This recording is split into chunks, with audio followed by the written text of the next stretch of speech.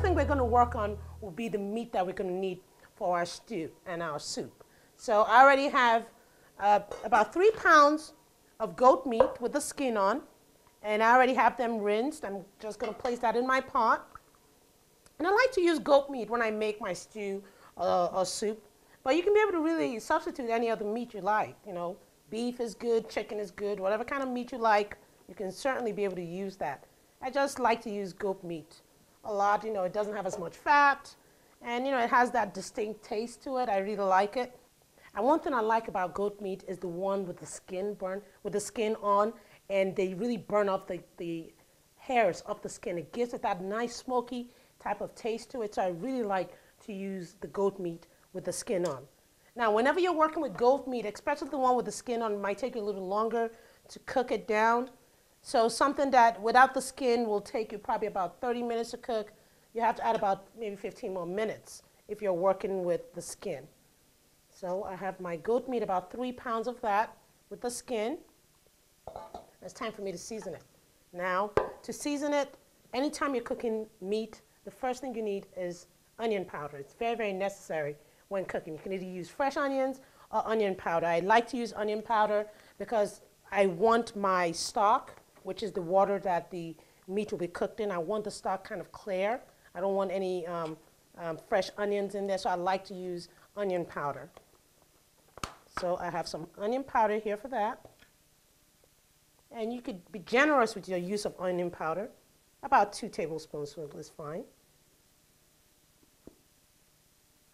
You're just going to mix this in, making sure you get all the corners and crevices of your meat to take on that onion. Another thing we need in here is some thyme. I have a, I have a tablespoonful of thyme in here. Just spread that in there. And I have some bouillon base. And I have, you're going to place about two tablespoons full of that here. You, you really want a very, very, you know, delicious stock when you're done. Something very flavorful and very delicious. So you're going to add a lot of good stuff to it in the beginning.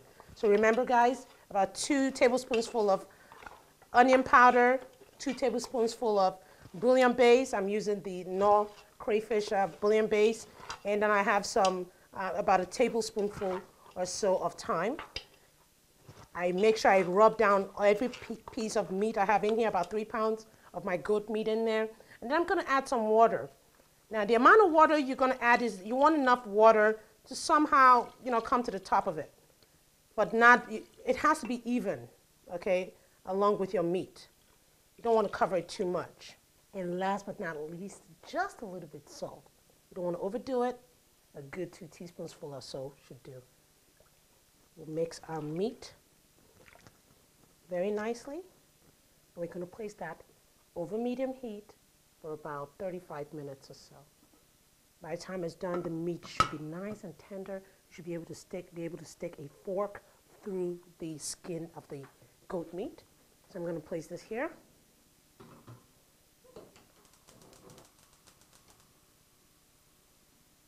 medium heat 35 minutes.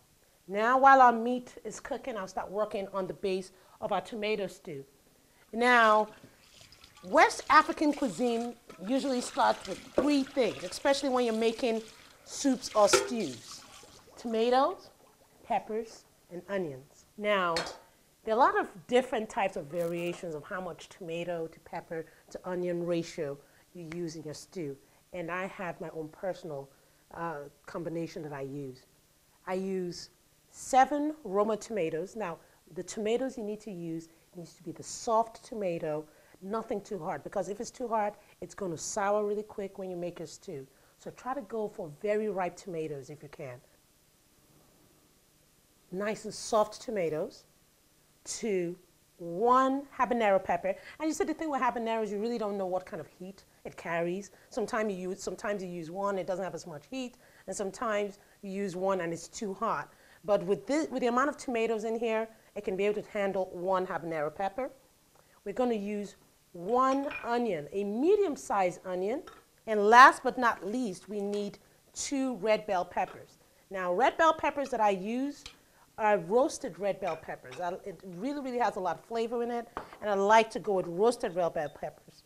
So two roasted red bell peppers. One. And we have two. And that is the secret to my tomato stew. Gonna cut this up.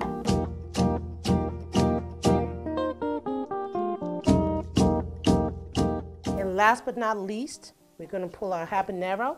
You can be able to use everything along with the seeds. If you like heat, if you don't like too much heat, take the seeds out and take the ribs out so as not to make your stew too hot. And we're gonna blend this. We're gonna take a quick break. When we come back, we're going to continue to work on our African or our West African pepper stew. Don't go away.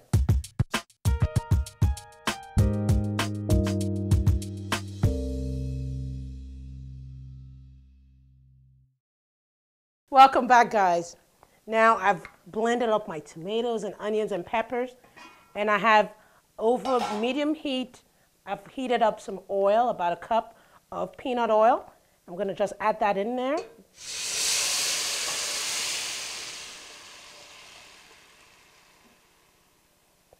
Mmm, looks really, really good. We're gonna cook this in here for about 20 minutes or so, and then we're gonna start spicing it up. So while we're letting that cook, we're gonna first of all cover this up. Make sure it's on medium. Meantime, we're gonna check in on our stew. It looks absolutely fabulous. Just gonna mix that. It has really, really cooked very nicely. It's time for us to spice that up. Now, before I start my spicing, I'm gonna add some stock. I have some homemade chicken stock here that I have frozen. So I'm gonna be adding, oh, about a cup of that in here.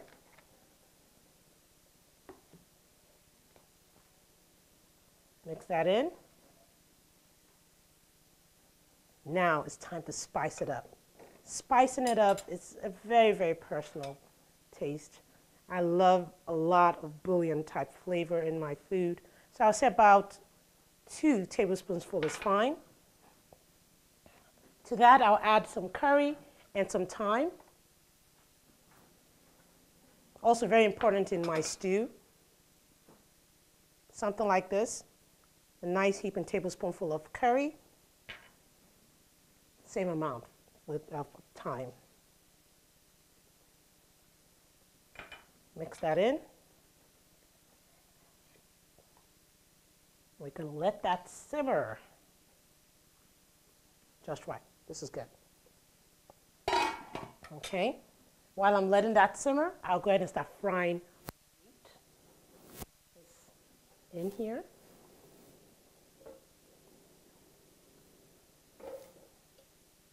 We're going to fry it until it's golden brown. Oh, it should fry about two to three minutes and then it'll be ready to take out. Next thing we're gonna work on is our stew. Oh, looks out of this world, just delicious. I already have my meat fried up. I'm just gonna place my meat pieces in there. And what this will do is soak up all that beautiful goodness in that stew. There we go, there you have it. Our stew is ready. And there we go. It's nice and cool. That is pounded yam fufu. It's time for me to plate my wonderful soup, my egusi soup. It has all that beautiful spinach in it. Just gorgeous. It's enough for one serving. To that, I will add my pepper stew.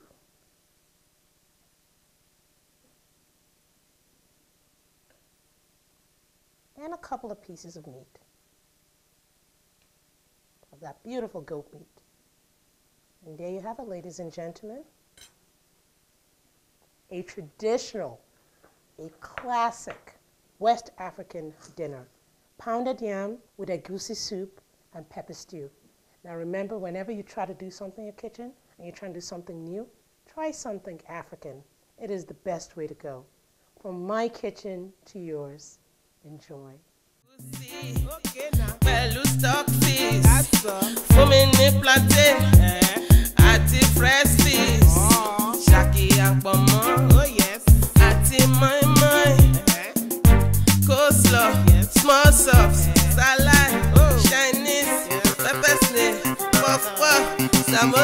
snail